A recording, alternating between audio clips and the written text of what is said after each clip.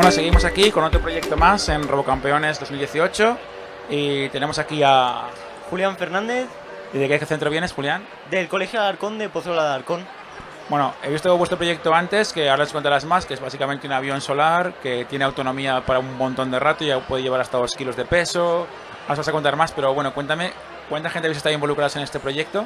Bueno, pues somos cinco alumnos de tercero de la ESO, que como he dicho antes, del Colegio Alarcón. Bueno, cinco alumnos, la verdad es que para lo que es el proyecto que vamos a explicar ahora, son bastante pocos. Habéis hecho un montón de trabajo, ¿no? Sí, ha sido mucho trabajo, sobre todo trabajo extraescolar que hemos tenido que hacer fuera, fuera del aula. Bueno, estamos dando como mucha tensión sin hablar realmente de qué es el proyecto. Cuéntanos exactamente cuál es vuestro proyecto. Vale, bueno, pues como has dicho an- antes, es un avión solar que es completamente autosuficiente o autónomo gracias a sus placas solares de silicio.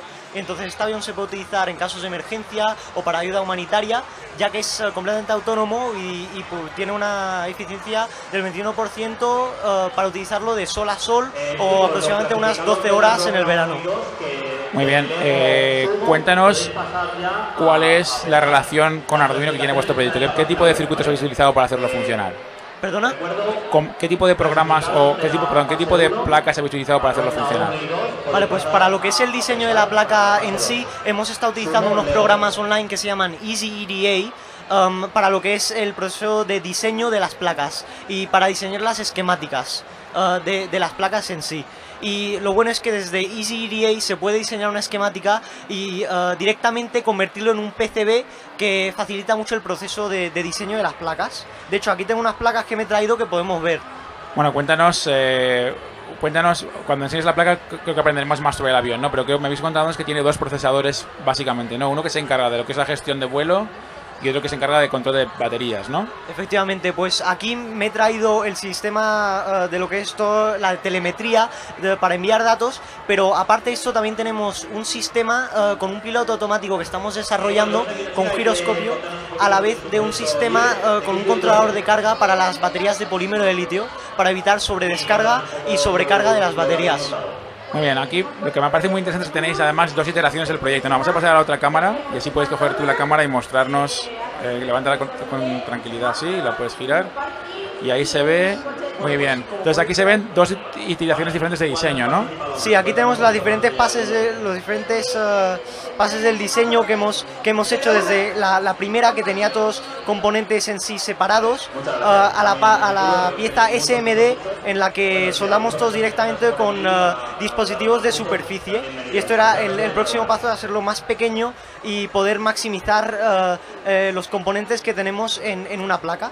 Y ya la próxima parte del diseño sería um, disminuir aún más el tamaño de, de esta placa. Muy bien, ¿y cuánto tiempo se llevó a hacer este proyecto? Bueno, pues llevamos en este proyecto aproximadamente dos meses. Ha sido un tiempo bastante limitado y hemos tenido que esperar bastante tiempo, sobre todo para estas placas eh, y para todos los diferentes proveedores que nos llegan desde países del este y de Asia. Muy bien, y el avión, porque ya he visto el vídeo que tenéis del avión volando, eh, ¿realmente habéis, tenido, lo puesto a volar y cuánto tiempo vuela? Pues eh, hemos hecho test de vuelo con eh, media hora um, y nos, ha llegado a volar media hora con lo que es un, test de vuelo con las baterías y las placas solares. Aunque sobre nuestros cálculos que hemos hecho no hay ningún problema en la autosuficiencia del avión y ya hemos hecho test directamente sin batería para volarlo en plena luz del sol. Y entonces tiene esta autosuficiencia completa eh, basada en nuestros cálculos y, y, eh, en práctica también funciona. Muy bien, eh, finalmente, ¿me puedes explicar la parte que me habéis explicado antes que consiste en que podéis enviar los datos del avión por voz? Sí, efectivamente, hemos utilizado un Arduino eh, con una, una librería, con una- un sintetizador de voz y lo que esto significa es que una persona puede escuchar y recibir los datos del avión sin necesitar un decodificador. Entonces directamente se puede unir a la frecuencia, que es 433 MHz, eh, frecuencia libre, para escuchar este, este avión con cualquier antena, cualquier eh, dispositivo a mano. O sea, la verdad es que está muy bien. O sea, por ejemplo, yo qué sé, los eh, bomberos tuvieron un incendio, pueden emplear los, aparatos de radio que tienen ya ahora mismo normal para detectar el sistema y escuchar, ¿no? Sí, efectivamente, cualquier persona puede utilizarlo con equipamiento que ya existe sin necesidad de utilizar un ordenador o cualquier otro tipo de dispositivos para decodificar esta información. Y también tenemos, como dijiste, para los bomberos, un sistema de vídeo en directo eh, que también se transmite por radio para poder eh, ver lo que está ocurriendo. Muy bien, muchísimas gracias. La verdad es que es un montón de información para dos meses. Hay que trabajar muy, muy duro para hacerlo. Solo por dar crédito, ¿puedes decir los nombres de tus compañeros que habéis trabajado en este proyecto? Sí, pues eh, Javier Caña, Miguel Luque, Nico y eh, Javier Balza. Muy bien, muchísimas gracias. Mucha suerte.